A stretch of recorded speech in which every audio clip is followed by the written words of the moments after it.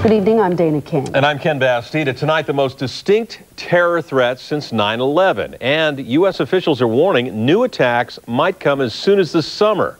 Greg Lefebvre on the terror alert and whether the Bay Area could be a target. The big reason for the alert is that this summer brings so many targets of opportunity. We're looking at this as um, potentially a, a, a, good time for terrorists to uh, uh, plan an attack. High profile targets like America's new World War II memorial in Washington, the G8 summit in Georgia next month, and either of the major political conventions in New York or Boston. While there's no time or place mentioned, intelligence officials call it the most credible and serious information yet, with new focus on rail systems, 400 miles of which encircle the Bay Area. We have a, a wall built up around the entire facility. Mm.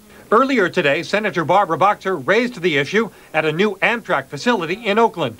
Any attack on our rail system would be devastating. Today, an international think tank said Al Qaeda was in fact not weakened by the war on terror, but dispersed and strengthened by it, estimating at least 18,000 active Al Qaeda operatives continue around the world in 60 countries.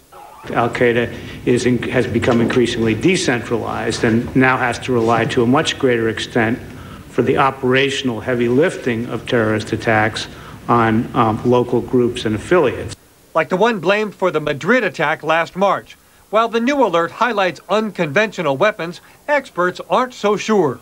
Al Qaeda hasn't been very successful in its quest to get a chemical weapon. That doesn't mean that they couldn't get one. Biological is very difficult uh, technically to disseminate.